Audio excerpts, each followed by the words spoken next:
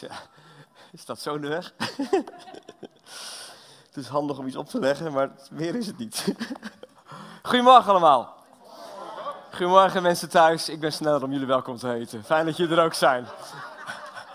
En ook als je later terugkijkt, wat prachtig dat je er nog bent. En ik eh, vind het een eer om hier te zijn. En niet alleen een eer, Karen en Lieselot zijn ook mee. Wij voelen ons hier thuis. En dat is op, op veel plekken, maar dit is toch wel een van de plekken waar we heel warm welkom geheten worden. En ons verbonden voelen met jullie als gemeente. En dan is het eervol om hier vanmorgen te mogen spreken. En voor ik spreek wil ik toch even iets vertellen waar wij mee bezig zijn. Want ja, ik ben niet alleen Martin en, en Karen en Lieselot. We zijn ook gewoon vol van wat we mogen doen voor God. En verhalen delen over wat God doet is prachtig. En ik had een paar plaatjes meegenomen. Ehm, dit is van, nou ja, ondertussen bijna drie jaar geleden de opening van ons gebouw waar we duiven oplieten. Als beeld van laat vanaf deze plek de geest van God over Nederland gaan. Roy Mission heeft een, een is gepassioneerd om het koninkrijk van God te verkondigen. Dat is het werk wat we mogen doen. En andere trainen hetzelfde doen. En we mogen op zoveel manieren zegenen, maar ook trainen, opvoeden, krachtiger maken. En mensen helpen om stappen te maken. En ik laat een paar plaatjes zien. De eerstvolgende is van uh, onze fulltime bijbelschool. Wie van jullie is tussen de 18 en 25? Ja, wie zou het willen zijn? Ja, dat is de rest natuurlijk. Dat is wel, ja, precies. Maar goed, dit zijn jongelui. Um, aanstaande dinsdag is er een meeloopdag, een VIP meeloopdag. Dat is uh, altijd even zoeken in deze tijd hoe dat kan. Maar er zijn al meer dan 30 aanmeldingen voor. Dus uh, als je daar nog bij wil, moet je je wel even aanmelden bij onze school. Een jaar lang waarin je getraind, gevormd wordt. Een prachtige bijbelschool. Waar we ondertussen bijna eh, meer dan 200 studenten gehad hebben in de afgelopen jaren. Dus de, de groep groeit en groeit. Hoeveel mensen we mogen trainen. Het, uh, het volgende is ons groeijaar. Um, ik ga het vandaag wat over groei hebben, verlangen naar groei. En dit is wat we online doen met individuen. Ondertussen honderden mensen verspreid over Nederland. Een e-learning traject, groepjes, regiomentoren. Een heel bijzonder proces. Maar het bijzondere is ook dat steeds meer kerken aanhaken. Als hele kerk dit gaan doen. En kerken kunnen starten in januari of in september. En deze week starten vijf nieuwe kerken hiermee. En in september staan de eerstvolgende uh, veel, nog veel meer kerken klaar om september te beginnen. Omdat Royal Mission onze roeping is uiteindelijk een discipelschapsbeweging. Eh, zegen is mooi, groei is beter. moet even denken. Ben ik het daar wel mee eens, denken mensen? Ja, zegen is fantastisch, maar groei. Groei is iets wat blijft en vermenigvuldigt. En daarom gaan we voor groei. En daarom trainen we ook dat volgende plaatje ondernemers, leiders op allerlei niveaus, uh, school voor leiders. En hebben we dat volgende plaatje ook ondertussen een school voor jonge leiders. Ja, weer die leeftijdsgroep. Gisteren gaf ik les bij 46 van de jongeren op onze school voor jonge leiders. Tussen 18 en 28. Prachtig. Allemaal mensen die al in bedrijf actief zijn, verantwoordelijkheden hebben op verschillende plekken. Anderen die aan het zoeken zijn, maar weten, dit is wat ik wil onvoorstelbaar. En ze, ik zei gisteren, ik geef les aan jullie wat ik als twintiger niet gehoord heb. En ik had het willen horen als twintiger.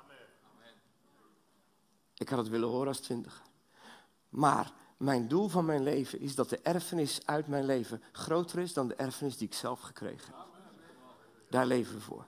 Zodat het koninkrijk van God zich vermenigvuldigt. En daarom geven we zoveel weg. Dan zijn we in beweging om te zegenen. En als laatste een plaatje. Ehm, we zijn een nieuwe zaal aan het bouwen. En misschien, wie van jullie heeft de foto's gezien dat we begonnen zijn met slopen? Nou, de rest volgt ons dus helemaal niet. En bedankt. Twitter, Instagram, Facebook, Martin Korstra. Zoek het maar even op. We zijn begonnen met dat rechtse stukje, dat, dat smallere stukje wordt gesloopt en daar komt zo'n hele grote zaal met foyer en zo voor 250 mensen. Omdat we grotere trainingen en kleine conferenties willen gaan doen. En, en waarom laat ik dit zien? Niet omdat wij zo goed zijn, maar omdat God aan het werk is in ons land. God vergeet Nederland niet. Echt. Je voelt op allerlei plekken dat God dingen aan het voorbereiden is, zodat wij er klaar voor zijn voor wat Hij wil gaan doen. Ja? Dus bereid je voor, doe mee en verwacht God zegen. Mocht je er iets van willen zien, aanstaande zaterdag hebben we een drive-in, noemen wij het. Eigenlijk is het een drive-through, maar we rijden een rondje om ons gebouw en je wordt gezegend en je krijgt daar patat of weet ik wat je krijgt. En daar krijg je een jaartekst en daar wordt, is een ministry team en daar krijg je wat boeken cadeau. Het is echt een feestje. Al bijna 500 mensen hebben zich aangemeld voor aanstaande zaterdag. Dus er kunnen nog wat auto's bij. Ja, hoehoe, het was een feestje. Oh man, het was zo geweldig. Ja, want we doen altijd aan het begin van het jaar iedereen persoonlijk een Bijbeltekst geven. In onze wonderlijke zondag. En omdat het niet live kon, doen we het zo. Dus uh, je bent van harte welkom. Goed, dankjewel voor de support met de plaatjes. De Bijbelteksten komen zo wel langs. Um, wie van jullie heeft in zijn kindertijd, en ook misschien voor mensen thuis, of, of doe je het nu nog, heb je als kind uh, streepjes op de muur gezet om bij te houden hoe hard je groeit? Je steekt maar je hand, je hoeft je niet voor te schamen, er zit zo'n klein handje. Nee, ja. Ja, cool hè? Streepjes op de muur. Ja, jij ook? Ja, precies. Oh, je houdt streepjes zo bij nu. Oh, ja, kan ook. Ik zie je streepjes zetten. Dat kan ook door de jaren, andere groei. Hè? Waarom zet je streepjes als kind? Omdat je zo verlangt naar groot worden. Je wil meten hoeveel je gegroeid bent. Er is een verlangen om groot te worden. Wat zegt een tiener als die 13 jaar is, je vraagt hoe oud je bent, dan zegt een tiener bijna 14. Waarom? Omdat hij ouder wil zijn. Er is van jongs af aan een verlangen om op te groeien, om volwassen te zijn en erbij te horen. En dat verlangen is een goed verlangen. En dat verlangen, daar wil ik het vandaag over hebben. Verlangen naar groei. En dan niet groei in de lengte of de breedte, maar verlangen naar geestelijke groei. Je kunt allerlei verlangens hebben voor dit jaar en doelstellingen en voornemens en verwachtingen. Maar ik hoop dat deze erbij zit. Ik hoop dat in jouw hart, in jouw leven, een verlangen is, ik wil dit jaar groeien. Er zijn er twee die het ook verlangen dit jaar. Dat is mooi. We komen er wel. Ik preek nog even. Een verlangen naar groei. Dat je, niet dat deze kerk alleen maar groter wordt, dat is goed. Dat die professioneler wordt. En dat die dit, ja, maar dat mensen individueel meer diepgang hebben. Stabieler worden, meer vrucht dragen. Meer kracht van de geest zichtbaar wordt. Dat individuen zich meer vermenigvuldigen in anderen. Dat is groei die God wil. Dat is groei waar ik naar verlang. En die ik als het ware vanmorgen in je wil zaaien. Dat je dat meeneemt. Ja, Heer, ik verlang dit jaar naar groei. Ja? Laat ik een tekst lezen. Johannes 15, vers 8. De grootheid van mijn vader zal zichtbaar worden wanneer jullie veel vrucht dragen en mijn leerlingen zijn. De grootheid van mijn vader zal zichtbaar worden wanneer jullie veel vrucht dragen en mijn leerlingen zijn. Dat is het laatste stukje van, Jezus, van God die de uh, wijnbouwer is, de, de, landman. En hij knipt de rank en hij zegt, je moet in mij verbonden zijn, dan kun je veel vrucht dragen. En dan eindigt dat stukje met dit vers. De grootheid, Jezus woord, de grootheid van mijn vader zal zichtbaar worden wanneer jullie veel vrucht dragen en mijn leerlingen zijn. Het woordje grootheid is een van mijn favoriete woorden in de Bijbel. Niet het Nederlandse woord, maar het Griekse en het Hebreeuws. In het Grieks, Nieuw Testament, staat er doxa. In het Hebreeuws staat er kavod. Glory. De glorie van God. De heerlijkheid van God. De majesteit van God. Letterlijk het gewicht van God. Wie wil meer gewicht van God dit jaar? Dat wil iedereen. Dat als je dat niet verlangt, dan zou ik zeggen: ga ik nu de hand opleggen. Dat is waar we voor Dat is wat we zingen. Heer, toon ons uw koninkrijk. Laat uw koninkrijk komen. Laat uw gewicht komen. Dat alles zo verpletterd wordt wat niet van u is en vol wordt van uw glorie. Dus die tekst, de grootheid van mijn vader zal zichtbaar worden. Daar verlangen we naar dat dat uit de hemel komt. En dat kan God doen. Maar heel veel glorie van God wordt zichtbaar als wij veel vrucht dragen. De grootheid van mijn vader, de glorie, de kabot van mijn vader zal zichtbaar worden wanneer jullie veel vrucht dragen en mijn leerlingen zijn. Hoe? Het kan van boven komen, maar Gods plan is dat wij gaan groeien en dragers worden van die glorie en die door ons heen zichtbaar wordt. En wat de rest vanuit de hemel komt, is bonus. Ja. En soms zit het zo te verwachten dat het uit de hemel komt dat we vergeten zelf te groeien. De grootheid van mijn vader zal zichtbaar worden wanneer je veel vrucht dragen en mijn leerlingen zijn. Leerling. Leerling zijn van Jezus. Wie van jullie zit nog op school, op een of andere school of opleiding? Ja. Heb je leraren of docenten die echt, echt leuk zijn? Ze knikken amper. Hebben er die heel rot en vervelend zijn? Ja, oké. Ja. Waarom vraag ik dit? Omdat in onze tijd is zo, als je een docent Nederlands hebt, als je een goede student bent, dan leer je goed Nederlands. Dan leer je wiskundeleraar, leer je goed wiskunde. Maar in de tijd waar dit geschreven wordt, in het Joods, denk is dat totaal anders. Je bent niet een goede leerling als je de kennis verzamelt. Je bent een goede leerling als je wordt zoals de leraar. Ja, het zal wat zijn, hè? Krijg je wiskunde, moet er een verlangen ontstaan. Ik wil worden als de wiskundedocent. De. Freaking guys, nee. Maar dat was in die tijd zo. Dat worden als de leermeester, worden als de rabbi. Uitspraken uit die tijd, dat er geschriften zijn, dat, dat men elkaar toewenste dat het stof van de rabbi je mag bedekken. Dat is dat je zo dicht achter hem aanloopt dat het stof van op hem komt, omdat je alles volgt. En ze volgden alles. Hoe een rabbi at, hoe die dingen las, hoe die dingen. Soms gingen ze zelfs mee naar de wc om te kijken hoe hij ging plassen. Dat verzin ik niet, dat staat in de geschriften van extreme leerlingen. Waarom? Het verlangen was niet, ik moet jouw kennis hebben. En wij zitten in een kennismaatschappij. Dat denk als ik de kennis heb, als ik weer een goede preek gehoord heb, dan heb ik het. Jezus vraagt niet om kennis, hij vraagt om navolging. En kennis hoort daarbij, maar navolging is, ik wil worden zoals mijn leermeester. Dus als er staat, de grootheid, de kawat van mijn vader, zal zichtbaar worden wanneer je veel vrucht dragen en mijn leerlingen zijn. Dan gaat het dus over die twee. En het is zelfs zo dat alle Engelse vertalingen vertalen het nog anders. De grootheid van mijn vader zal zichtbaar worden wanneer jullie veel vrucht dragen en zo laten zien dat jullie mijn leerlingen zijn. De grote, de kabot van mijn vader zal zichtbaar worden wanneer jullie veel vrucht dragen. En dat is eigenlijk het bewijs dat je leerling bent. Dus de uitnodiging om vrucht te dragen is, wees leerling van Jezus. Want dan ga je groeien. En als je gaat groeien, wordt daar de majesteit van de hemel zichtbaar. Want alles wat aan mij groeit, komt vanuit de hemel. Alles wat mooi is, komt uit de hemel. Het is vrucht. Oh, het groeit door me heen. Maar de vruchten aan mij zijn schitterend, omdat ze hemels zijn. En daar wordt de glorie van God zichtbaar. De grootheid van mijn vader zal zichtbaar worden wanneer je veel vrucht draagt. En daarom is het belangrijk een verschil te zien, wat ik aan het begin al even zei, tussen zegen en groei. Wij verlangen allemaal naar zegen en dat is goed. Je mag verlangen naar zegen. Je mag verlangen dat er voor je gebeden wordt dat je genezen wordt. Dat er voor je gebeden wordt dat je een profetie ontvangt. Dat je bevrijd wordt. Dat je bemoedigd wordt. Dat je kracht ervaart. Is wat God allemaal wil doen en het is niet groei. Want je kunt genezen de deur uitlopen en onveranderd zijn. Je kunt een profetie ontvangen die je bemoedigt, maar groei is iets anders. En zegen kan ik uitdelen, kunnen wij aan elkaar uitdelen, maar groei kan ik niet doorgeven.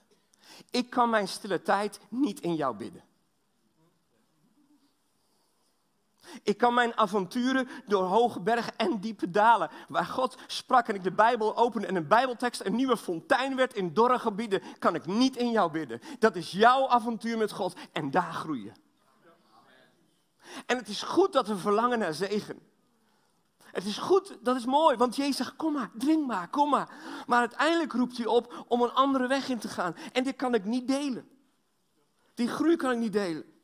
Als je de gelijkenis kent van de vijf wijzen en de vijf dwaze maagden. En die ga ik niet helemaal uitleggen, maar er is iets aparts wat er gebeurt. Die vijf wijzen hebben genoeg, meer dan genoeg olie. En die dwazen hebben te weinig. En die vragen, mogen wij olie van jullie? En die meisjes zeggen nee.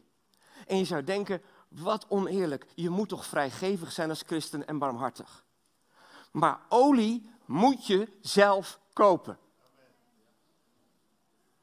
Die meisjes moesten het gaan kopen. De olie die God in mij, wat God in mij laat groeien, kan ik niet met jou delen. Het is jouw avontuur. Ik kan je uitnodigen, we kunnen elkaar zegenen, maar groei is jouw weg met Jezus.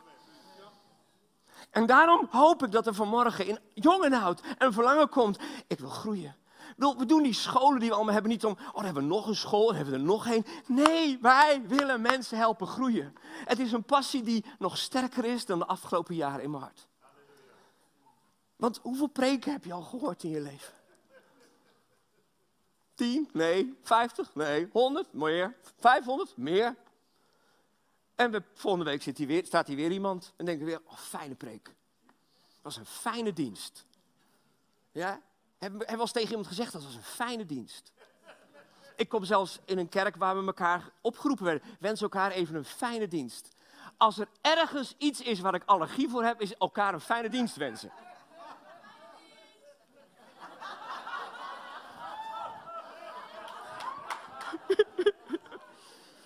Lever die, die deken maar meteen in, jij.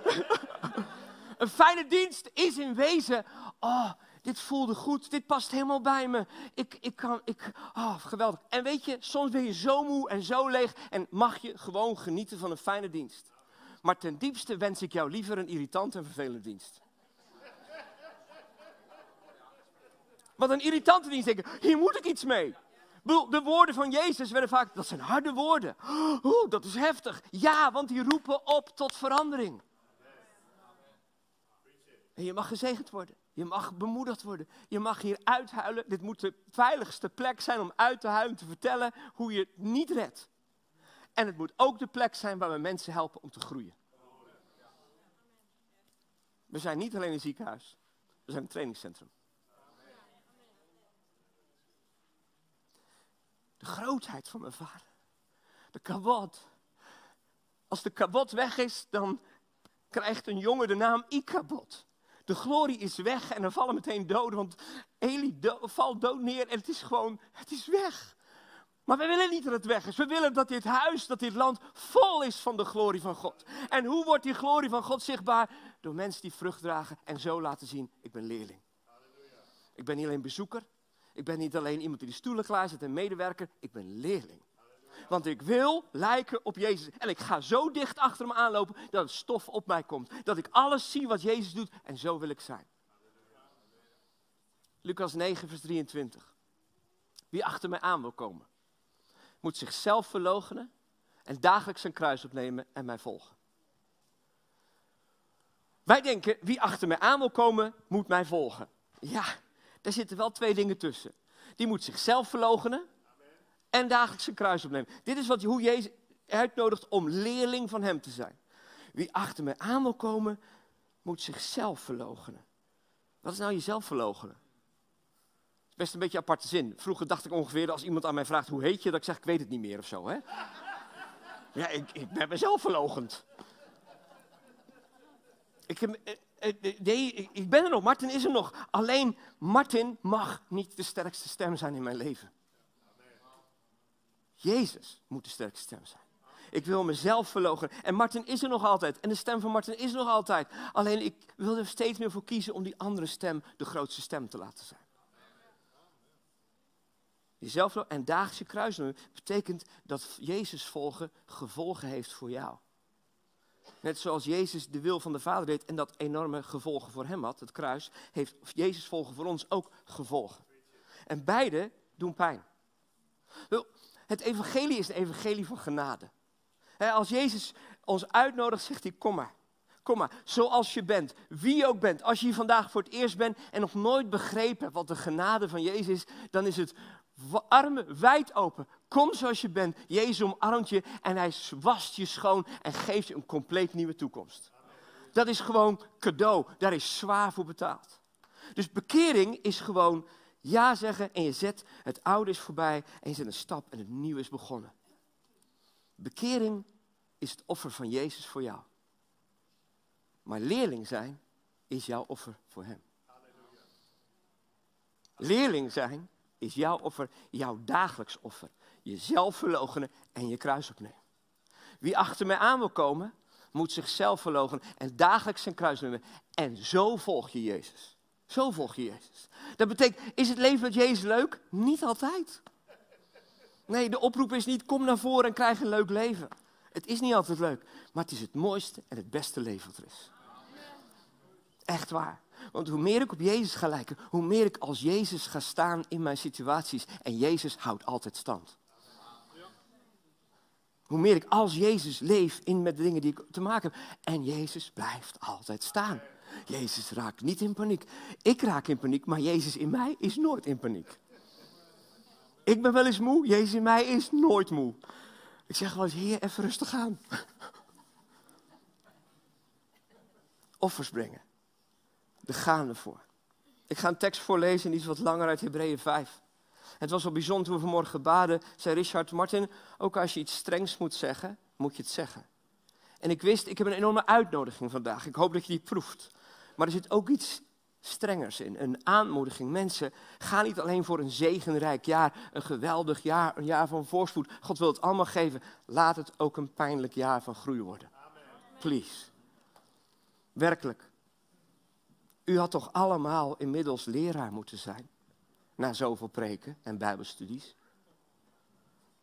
In plaats daarvan hebt u zelf hebt u er zelf een nodig om opnieuw de grondslag van het woord van God bij te brengen. Het is zover met u gekomen dat u weer aangewezen bent op melk in plaats van op vast voedsel. Wie melk drinkt is nog een klein kind en heeft de draagwijte van de verkondigde gerechtigheid. Vast voedsel is voor volwassenen. Hun zintuigen, let op, zijn door ervaring geoefend. En zij zijn in staat onderscheid te maken tussen goed en kwaad volwassen worden. Dit is een streng woord aan de Hebreeën, maar ook een beetje aan ons. En nogmaals, als je voor het eerst op bezoek bent of je bent totaal uitgeblust, geniet van die aanbidding en aanwezigheid van God. Maar als je op dat punt bent dat je denkt, ik wil verder met Jezus, dan is dit een uitnodiging voor jou. Blijf niet alleen maar luisteraar. Preken zijn fantastisch, maar preken maken geen leerlingen. Als prekingen leerlingen zouden maken, zouden alle kerken vol zitten met leerlingen. Want wat wordt er veel afgepreekt? Preken maken luisteraars. En dat is prachtig. Ik geloof in de kracht van de prediking. De kracht van de prediking is vooral wat er gebeurt tijdens de prediking en rondom de prediking.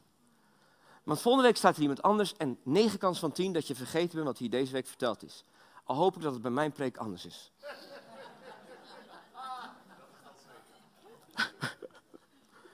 Maar goed, zo gaat het. En dat is ook goed. Volgende week staat er iemand anders. Dus preken is fantastisch. Maar leerling zijn van Jezus betekent dat je de draagwijte van de gerechtigheid gaat ontdekken. Dus niet alleen een evangelie van redding, maar een evangelie van het koninkrijk.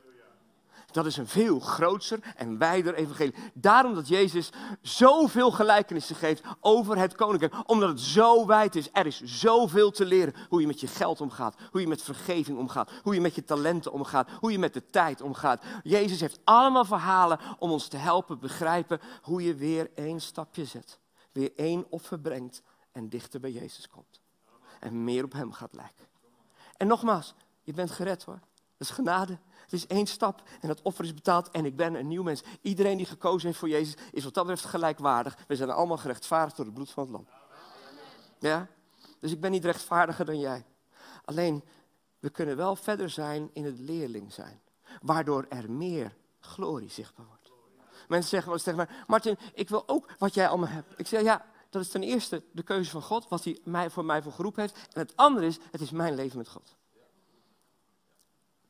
En daarom is mijn uitnodiging, leef dat leven. Wees leerling, de grootheid, de kawat, de doxa van God wordt zichtbaar als wij vrucht dragen en zo laten zien dat we leerlingen zijn. Groei op. Wees volwassen. Het zou toch wat zijn dat je bij ons thuis op bezoek komt en uh, we hebben je uitgenodigd om te komen eten. En je aan tafel staat en je denkt, nou, tafel is mooi gedekt en bij elke stoel staat een flesje melk. Met zo'n speentje erop zo. Dan denk je echt, beetje apart kind, die zijn allemaal kinderlijk hier. Dat is wat je denkt. En dat is wat hier, ik weet niet of Paulus het geschreven heeft, maar de schrijver van de Hebreeënbrief heeft gezegd, dat is hoe het is. We drinken allemaal weer melk en we hebben weer melk nodig. Maar we moeten de draagwijte leren en onze zintuigen oefenen. Dat betekent, discipel worden is niet alleen luisteren. Een mens leert maar 10% van wat hij hoort. Je leert ongeveer 20% door er met elkaar over te overleggen en over te praten. En 70% leer je door te doen. Oefenen van je zintuig. En daarom hebben we plekken nodig waar mensen ruimte maken om te trainen. Daarom dat we een nieuwe zaal willen. Die is voor grotere trainingen, zodat we met meer mensen in een zaal dingen kunnen oefenen, opdrachten geven en met elkaar bezig zijn. Zo zijn al onze opleidingen opgebouwd. Allemaal leerteams van vijf, allemaal opdrachten, met elkaar aan de slag, verslagen schrijven, met elkaar bezig zijn, terugkomen met je verhaal, daar weer over horen. Want het is niet alleen een goede preek. Het is niet alleen overleg het even, ook dat is belangrijk, maar ga je zintuigen oefenen, zodat we volwassen worden. En dus moet je ook eens af en toe blunderen. Daarom zou de, de kerk de beste oefenplek moeten zijn. Waar we gewoon mogen gaan en ontdekken. Verlangen naar groei. Verlang je al naar groei voor dit jaar? Ja, ik, van twee ben ik naar de helft van de zaal. We gaan nog even doorpreken.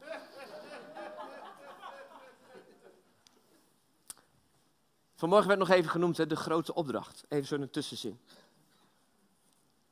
Jezus zei, ik heb alle macht in hemel en op aarde. Ga op weg, maak alle volken tot mijn leerlingen, tot mijn discipelen.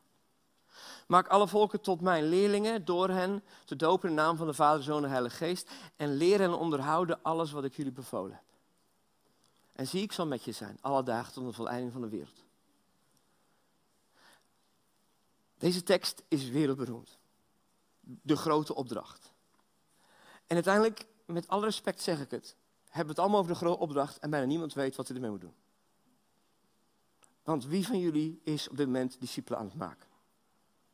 En misschien zijn er, en ik denk dat ze er zeker zijn. Dat je, en dat betekent dat we ook ons beeld misschien moeten aanpassen hoe dat betekent. Maar leerling zijn. Jezus zegt, ik heb alle macht. En dan geeft hij die opdracht en dan zegt hij, ik ben altijd bij je. Voor mij zijn dat de twee sterkste uitspraken van Jezus in de hele Bijbel. Ik heb alle macht in hemel en op aarde. En op aarde. En ik ben altijd bij je, alle dagen tot aan van einde wereld. Dus Jezus is er altijd en Jezus heeft alle macht. En daartussen geeft hij ons een opdracht en jij moet discipelen maken. Blijkbaar is discipelschap en leerlingen maken mensenwerk.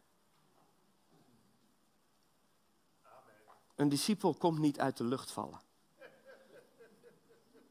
Een discipel groeit doordat anderen hun leven met die ander delen en investeren. En je leert mensen stap voor stap te onderhouden alles wat, ze, wat Jezus bevolen heeft. Je kunt niet ineens zeggen, hier is de Bijbel, leer hem uit je hoofd. Je, je gaat mensen leren, je gaat met mensen onderweg. Wat zou toch mooi zijn dat er in zo'n kerk als deze mensen met elkaar onderweg zijn. Niet alleen onderweg naar een samenkomst of naar een conferentie, maar onderweg in het leven met Jezus. Werkelijk samen onderweg zijn. 1 Korinthe 11, vers 1. Een heel kort zinnetje. Een van mijn favorieten. Paulus antwoordt, die zegt, dus volg mij na zoals ik Christus navolg. Eigenlijk zegt Paulus hier, als je nou mij volgen en op mij gaan lijken, ga je vanzelf meer op Jezus lijken. En weet je, dat is dus bijna hiërarchisch. Hè? Hier is Paulus, volg mij na, ga doen wat ik zeg, doe zoals ik leef, doe zoals ik handel. Joods denken, hè? niet alleen luisteren naar mijn preken, maar doe wat ik doe, volg mij na. En als ik Christus navolg, komt het vanzelf goed met jou. En weet je, wij in Nederland hebben daar wat moeite mee. Zoiets van, ja, maar ik moet toch Jezus volgen en geen mensen? En mensen kunnen toch blunderen als het dan helemaal de mist in gaat? Ja, daarom volg ik niet eh, Paulus, ik volg Jezus in Paulus. Dat is wat ik bevolg. Ik zoek mensen waar ik iets zie van Jezus in hun leven wat ik nog niet heb. Waar ik nog niet sterk in ben. En dat ga ik navolgen. En dat worden dus herders voor mij en ik word het schaapje. En dan zoek ik mensen die herder voor mij zijn en ik, oh, ik volg hen na en dan ben ik het schaapje.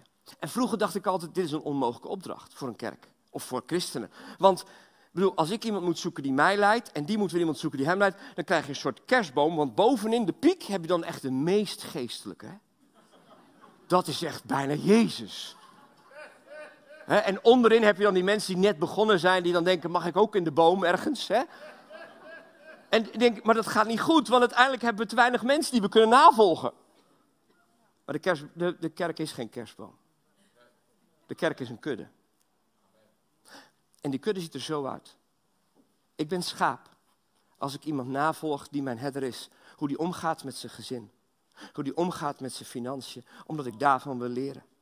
Maar met dat ik dat ben, ben ik herder aan de achterkant voor een ander schaapje die van mij leert. En die van mij leert hoe ik omga en verwacht van de kracht van God, hoe ik omga met gebed. En dus ik ben elk van ons, iedereen in die hele kudde, is aan de voorkant schaap en aan de achterkant herder. Zeg maar even tegen je buurman, ik ben half schaap, half herder.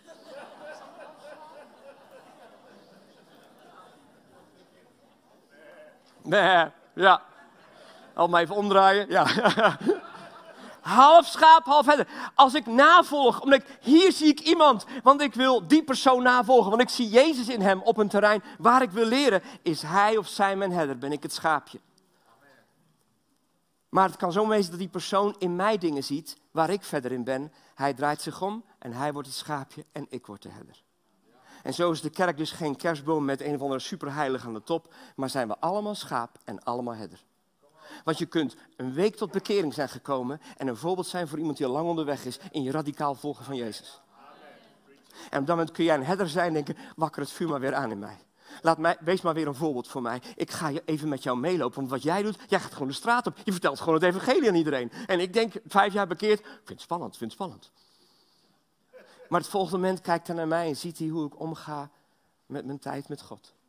En leert hij van mij hoe ik mijn Bijbel elke dag even open en met God tijd besteed. Je bent een schaapje, je bent een leerling, maar je mag ook een voorbeeld zijn voor anderen. En zo zijn we een kudde die samen met elkaar onderweg is. Om elkaar verder te helpen om Jezus na te volgen. Want als we groeien, als er vrucht is in ons leven, laat dat zien dat we leerlingen zijn. En die vrucht toont de kawat, de glorie van God. En mijn gebed voor deze gemeente, maar ook voor ons land, is dat de glorie van God gaat toenemen. En ja, ik bid ook voor een uitstorting die we nog nooit gezien hebben in ons land. Werkelijk waar. Alleen daar bidden we voor en het is aan God om te bepalen wanneer hij dit doet. Aan ons is om geworteld te zijn en vrucht te dragen. Aan ons is om achter Jezus aan te gaan. Te zeggen, Martin, jij bent niet de sterkste stem in het leven, dat is Jezus. En wat het ook is, de gevolgen van mijn keuze om Jezus te volgen, die draag ik omdat ik op Jezus wil lijken. En als we met elkaar die weg gaan, dan garandeer ik je, niet ik, garandeert Jezus, dat de glorie van God aan het einde van 2022 is toegenomen op Rafael Amersfoort. For sure. Mag dit jaar, dit verlangen, wil je het meenemen? Wil je het meenemen persoonlijk? Wil je het meenemen als kerk? Dat je niet alleen oh, doorbraak dit en doorbraak, allemaal geweldig. Groei, groei, groei, waar God zijn zegen aan verbindt. Waar meer Jezus zichtbaar wordt in elkaar. Waarin we meer kudde worden in plaats van losse elementen. Waarin we meer familie zijn die met elkaar leert. Die is vader voor die en die is moeder voor die. En die wordt weer zoon voor die en die wordt weer dochter voor die. En zo zijn we allemaal familiebanden in een geestelijk huis. We zijn een gezin, we zijn een kudde, we zijn een leger. Ik hoop dat je iets proeft wat in ons hart leeft. Ik ben opgegroeid als zoon van zendelingen in België, Hans en Marijke Kornstra. Sommigen van jullie kennen ze nog. Ze hebben net een 60-jarig huwelijk gevierd. Iets meer dan een week geleden. We waren samen met ze naar de geboortedorp van mijn vader, naar Sint Pancras. Het dorp waar ook Anne van der Bijl vandaan komt. Waar ook, nou er komen wel zes of zeven bekende zendelingen uit dat ene dorpje. En die zaten op de huiskring bij opa Kornstra. We zijn daar geweest gewoon om weer te kijken. Een paar zijn hier woonde Anne en daar woonde die en daar woonde die en daar woonde die. We hebben het gewoon met elkaar gevierd. Dus ik kom uit een generatie waar zoveel zegen is en ook zoveel wonderen. Maar ik merk dat God iets toegevoegd aan mijn leven. Wat zelfs nog met een opmerking van mijn vader te maken heeft. Hij zegt, Martin, ik heb te veel gereisd. Ik had meer moeten trainen. Reizen is fantastisch, maar het verdampt weer. Zegen is goed, want de zaaier zaait overal. Maar zorg dat je genoeg discipelt. Dat je genoeg weet. Ga voor de zegen, maar ga ook voor groei, mensen. Persoonlijke groei. Verlang naar groei. En daar wil ik jullie voor zegenen. En daar wil ik woorden van God over jullie uitspreken. Dat dit een plek van persoonlijke groei zijn. Van verbinding. Van een kudde die uitbreidt, die gezonder wordt. Een familie die sterker wordt. En een leger wat krachtiger wordt. In de naam van Jezus. Amen. Amen. Halleluja. Als je wil, nodig ik je uit om te gaan staan.